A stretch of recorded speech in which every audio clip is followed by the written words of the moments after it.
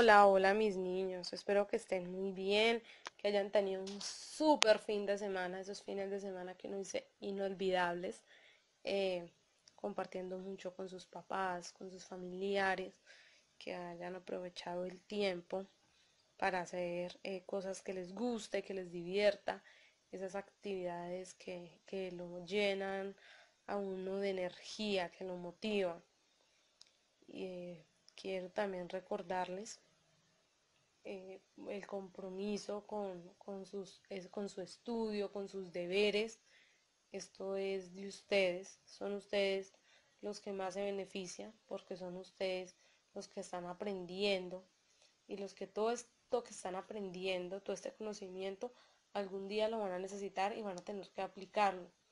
Entonces, en realidad, eh, son ustedes los benefactores y los que deben de estar más que nunca comprometidos con aprender y aprender bien, hacer las cosas con todo el amor, con toda la dedicación del mundo.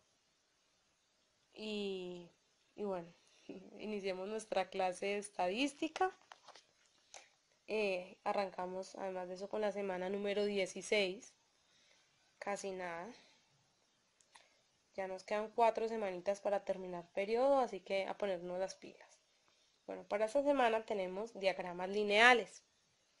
Entonces aquí tenemos el, como la definición, un concepto sobre diagramas lineales. Entonces nos dicen un gráfico lineal o gráfico de líneas y puntos, o sea, se, se llama, o lo podemos encontrar más bien como gráfico lineal o como gráfico de líneas y puntos es también otro tipo de gráfico estadístico, el cual consiste en unir mediante líneas rectas los puntos que representan los datos. Un gráfico lineal se puede trazar a partir de un gráfico de barras. Nosotros ya vimos los gráficos de barras, ¿no es cierto? Bien, entonces es más o menos como eh,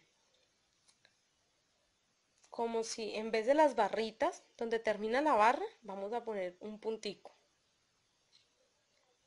Y luego esos punticos los vamos a unir con líneas, pero líneas rectas. ¿Listo? Aquí nos dicen cómo trazar un gráfico lineal. Para trazar un gráfico lineal a partir de un gráfico de barra se coloca un punto a la misma altura de cada barra. Entonces, hasta donde va la barra, donde, ahí donde termina, Ahí voy a poner un punto, ¿cierto? Y luego uno de los puntos. Vamos a ver el ejemplo. tenemos ejemplo. Acordémonos que para yo realizar un gráfico, primero tengo que tener una información. Si yo no tengo una información, yo no tengo unos datos, pues, ¿qué voy a graficar? Entonces aquí tenemos una información. Nos dice, una distribuidora de gaseosas vendió en cuatro semanas 500 gaseosas de diferente sabor, distribuidas de la siguiente forma.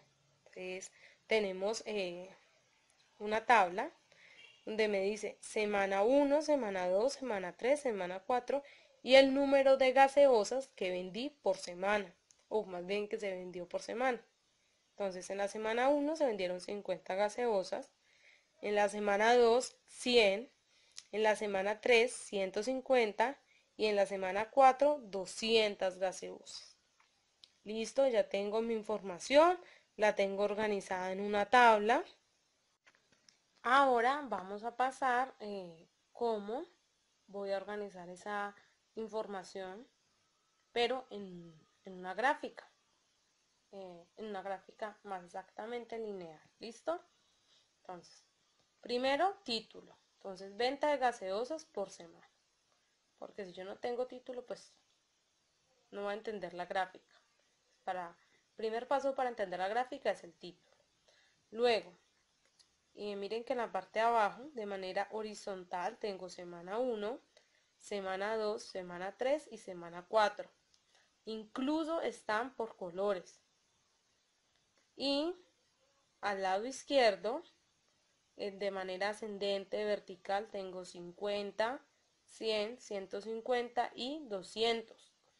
Miren que voy de 50 a 50. De 0 a 50, 50 más 50 me da 100, 100 más 50 me da 150, 150 más 100 más 50 me dan 200 y si aquí hubiese otro numerito le pondría 250.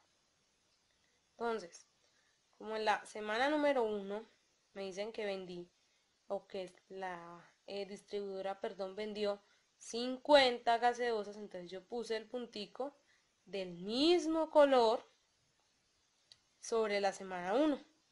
Entonces, semana 1 y, pero lo puse, aparte de que lo pongo sobre la semana 1, lo pongo hasta el número 50 para que eh, se sepa, ¿no? Semana 1 con el 50.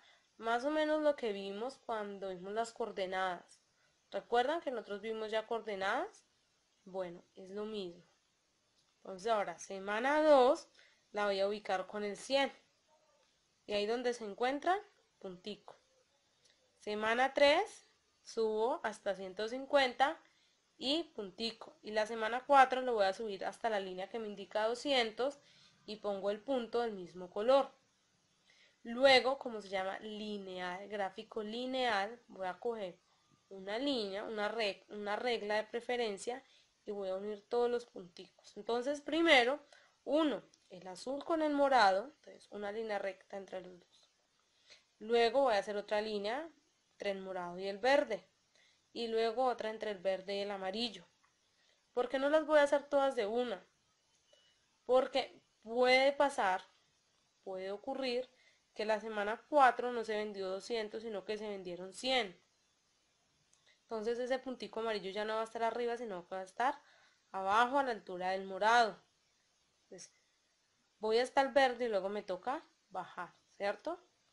Bueno, como aquí las ventas fueron ascendiendo, entonces puedo hacer una línea recta, pero de preferencia Primero, semana 1 hasta semana 2 una línea. Luego semana 2 hasta semana 3.